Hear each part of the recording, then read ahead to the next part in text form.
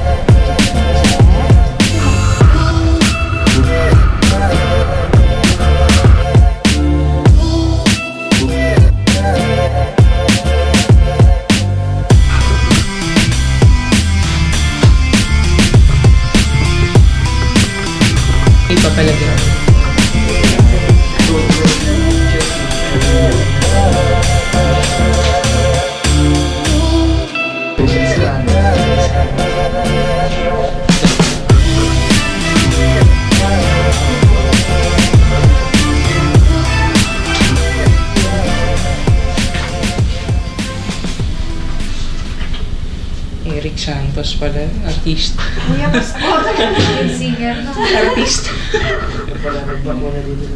Ay, ikaw din? Anyways, so, kumusta naman? Uh, Parang hindi katagal alaga ito. One year? Tulad nung sabi ko, hindi, I think hindi nutritional ang problema natin. Meron ka pa palang itlog, ha? Hingit pa ba yung ano, aso ni Irene? Ay, naghahanap. Kaya baka gusto niya ng tatay. Sige nga, baka gusto Gusto, niya. gusto na nga niya eh. Ay, Hindi, ito. ah, Na, ano lang Umaano namin na yung siya eh, isang parang- araw. Di ba babae yung ni Irene? ah, Na babae. Ano? Ilang Yorkshire? Oh, parang inhip yata for the last two weeks. Pero mas maganda sana to kasi maliit. Kaya nga. Malaki yung babae na yun. Para marami sila. Kami, kami, ako lang nagugupit eh. Yan, Pwede naman, wala naman. Okay, malinis. Kaso yung toothbrush niya, bira. Alam ko lang nagagawa. Um, how often po Pero Pero kay- gagawa? Weekly. Ah, acceptable na yun. Mm. Kahit twice a week, okay na rin yun. Hindi naman necessary daily. Okay lang ba kumakain siya ng cucumber? Okay lang, pero hindi masyadong marami ha. Nakapagmula na out of stool yun. Nangalin? Paglambot ng dumi. Oo nga. eh. Malambot na yung Hmm, dumi. baka dahil dun, babe. Oo. Kasi, Mahilig siya eh. ah, Favorite niya kasi. Favorite yung cucumber. in minimal amount, okay lang. Kasi by nature, hindi naman talaga kumakain ng gulay ang aso. Carnivore sila, di ba? So, Mm. pwedeng dahilan yun para ma-trigger ng ah, Mm. fiber din yun. Same Mm. time, kung gaano ba karaming kinakain niya, Binibigyan niya isa. Siguro, bibigyan ko ng isang ano, ah, sa buo, ubusin niya one-fourth agad. ah, eh, try ninyong i-manage yun. Ah, sige, What hindi I'm masyado. not saying na i-stop ninyo, uh, try ninyong bawasan and then observe it will eh, kung mag improve yung kanyang uh, poop. Mm. I think it has something to do sa fiber intake ng aso. Baka nga, babe, sa pipino. Tapos, Pipino? ano pa yun? Oh, pipino. Ah. Ano yan? Sa ear.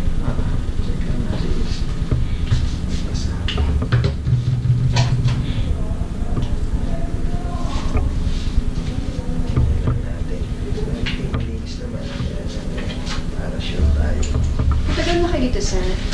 Oh, Kasi, ma'am.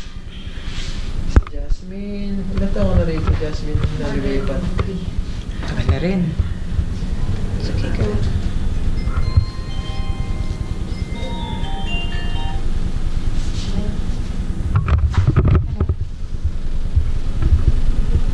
Anong oras? Check na yung ear. Negro. Lupat ka? Madumi ba, sir? Madumi? May wax lang, pero wala Eh, no, it's okay. problema. Kasi ang hinahanap lang naman natin doon ay kung merong mga secretions, kung merong ear mites. Saan kasi nagkakaroon ng ear mites ang aso? Yung buhok lang yung mga itim-itim na yun na tumutulo. May ipis bigla eh, no? Good boy! Yung ano, Good boy, Rolex. It's okay, girl. It's okay. Anong spelling? Kabayan, kabayan yung doctor. Alam mo yung ano, yung sa Pokemon? G-R-O-W. G-R-O. Normal lang po W. yan. Ano, yung... Paano siya? Kasi ang... May kailangan bang alternate yung pagkain ng wet tsaka dry food? Wala naman. Actually, they can drive with the dry food alone. Hindi na naman necessary bigyan ng iba-ibang pagkain kasi minsan yung pa nagtitrigger ng uh, pags- paglambot ng dumi. Mm. Ayun. So, kung gusto nyo bigyan ng cheat day yung aso when it comes to food, uh, let's say once a week, bigyan ninyo ng something special. or something. kasi may nagbigay sa kanya ng napakadaming Caesar. ano. Cis, alam mo yung Caesars na Caesars, uh, wala namang masama doon. Ang ano lang dyan kasi is baka hanap-hanapin ng aso nyo yung uh, pagkain na yan. Mag-off siya doon sa dry food lalo na to, small breed, may, may mga ilan sa kanila na talagang fussy eater na tinatawag. Naging picky. Ah, pero walang bawal naman. Ah, kung yun yung gawing style, Hmm. papakain, okay lang yun. Okay. Halimbawa, mix yung wet food, dry food, okay lang din yun. Kaya lang, means yung hassle kasi na kung may wet food ka, pag hindi naubos ng aso yun, dapat i-discard mo Mm. yun. Otherwise, mapapalis. Mm. Unlike yung dry food, binigay mo ngayong maga, for the whole day, Ah, pwedeng pwede balik-balikan ng aso. So, yun yung ano, pro- ah, basta laging may tubig. Hmm. Kasi dry food is 10%, 9% ang moisture. Anyways, wet food na. Ah, temperature na ilan, Jess? Oh, no, no, no. 38. So, in general, clinically speaking, wala naman po problema yung ah, alaga ninyo. Follow, nag-fall naman sa normal values. Tulad ng sabi ko, yung chest malinis naman, sa abdomen, wala akong nakakapang kakaiba, bukod sa may lamang ulo yung pantog. Wala ring pain. Pag binigyan ko ng pressure sa tiyan, hindi naman siya nagre-react na negatively. Yung ngipin, okay naman. Malin eh, may kakaroon na lang siya ng start ng discoloration sa kanyang teeth niya. Kung makita niya, ayan, nagkakaroon na. Okay. So, ah pag ganyan kasi, hindi na rin siya matatanggal ng normal brushing eh. So, paano gagawin? Ah, ang ending niyan, kung talagang dadami siya, mag-accumulate, ah, scaling. So, under anesthesia, scale siya parang tao. Mm. Ah, parang cleaning. Tao. Mhm. Dito yan pwede? Pwede yan. Ah. Ngayon, yung brushing o yung halimbawa sa binibigyan niyo siya ng mga dentastix o mga bones, Hmm. eh makakatulong yun para hindi na mag-accumulate pa further yung uh, Napalimutan, no? Ah, tapos, mm, later on, ah, kung mapag kung talagang kailangan, ang iniiwasan kasi natin sa dental problem is maging ganito yung problema natin. Yung mag-accumulate yung dumi along the gum line Mm. kasi pwedeng pagmulan yun ng gum infection. Ano yung mangyayari? Mag-in pain yung aso, minsan mag-off siyang kumain kasi masakit yung gilagid.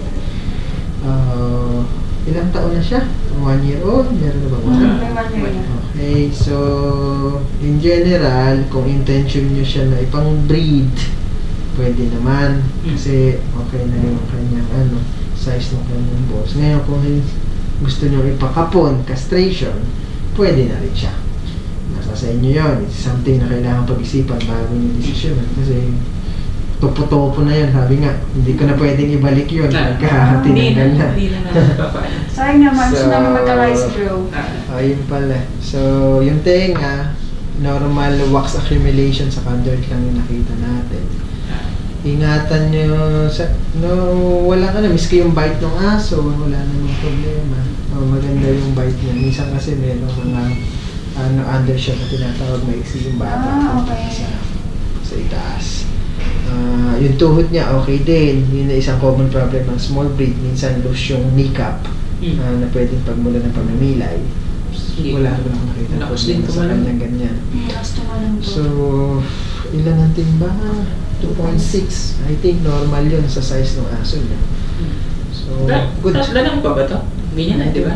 Lalaki yan. Maaaring magkaroon na lang yan ng nano, lateral, lateral growth na tinatawag. Ah, ganun. Okay. So, do this. Kumahawak sa kanila, mas na-stress yung aso. Saan binibigay ang vaccine sa dog? Under the skin. O Ah, pwede under rin sa muscle. Pero most of the time, under the skin para less painful. Good boy, Roland. Ready? Boy, girl. Oh, kailangan ng hawak. It's okay, girl. It. Good boy. Good boy. Ah. Anta! Yun na yung vaccine. Boy. Hmm. Ito na yung vaccine. So, done. Yung malamig pa, kaya sa Hindi, nagmasakit siya. hindi. Wala naman. It's okay, girl. Open. Hmm? Bro, nalunok mo. Ay, nagustuhan mo yata. Nalunok mo agad. Galing ah. Ay, good Wow. boy. Ayaw. Side? Baka gusto niya. Ayaw niya. Yung maliit, Maliit. sir. Kaya gusto niya. Bibigyan man niya, ayaw din niya ng ganito, sir. Binibigyan naman siya ng ganito. Good Boy! Yay! Dinura, wait, dinura. ay, dinura Ayan, niya. ayan. Good boy, Boy. girl. Yan. Okay. Aniverm.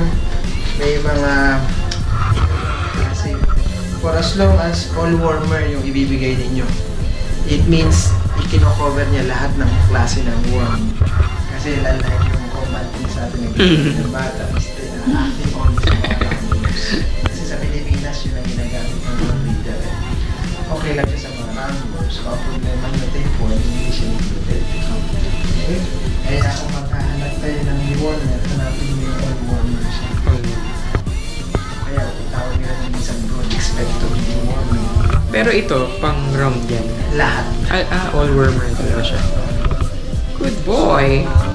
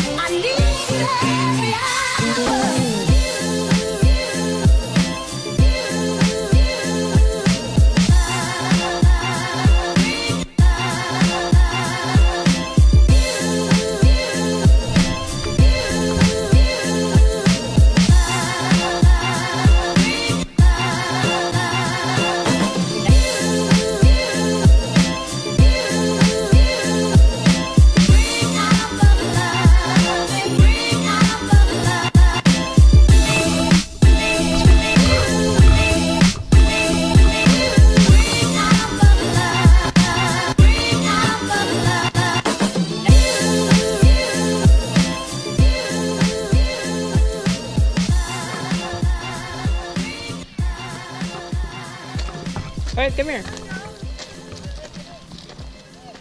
Good boy. Good boy, girl. Come here, this way, girl. Come here. Girl. Ihi. Ihi siya for life.